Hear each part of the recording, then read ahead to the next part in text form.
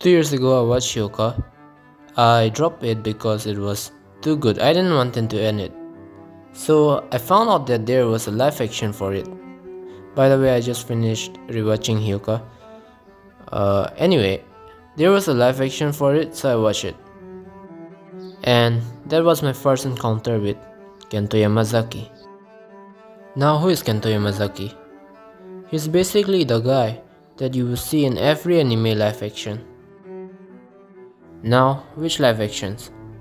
You will see him in live actions like Saiki K, Hyouka, Kingdom, Your Lie in April, Orange, One Week Friends, etc. etc.